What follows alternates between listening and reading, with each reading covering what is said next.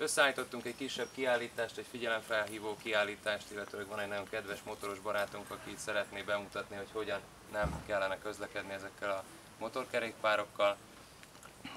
Én mindenkinek kívánom, hogy sok tapasztalattal és ö, élményekben gazdagon zárja ezt az elkövetkezendő két napot. Most átadnám a szót akkor Anti András alezredes úrnak.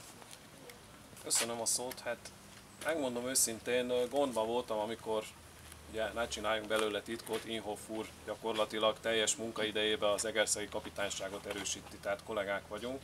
Tehát amikor az András felkért engem erre a megnyitóra, hiszen tudom, hogy itt a klub jó része rendőrökből, mentősökből, illetve katasztrófavédelmisekből áll, tehát mit tudok mondani olyan embereknek a közlekedési balesetekről, akikkel gyakorlatilag együtt vagyunk innen a balesetek helyszínén.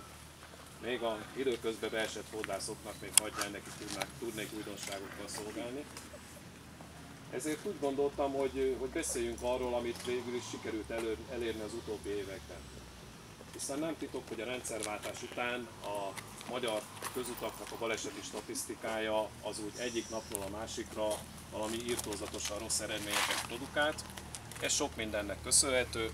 Köszönhető egyrészt a járművezetők szemléletváltásának, köszönhető annak, hogy bekerültek Magyarországra addig csak úgy vágyálmainkba ismert járművek, nagy teljesítményű gépkocsik, illetve motorkerékpárok,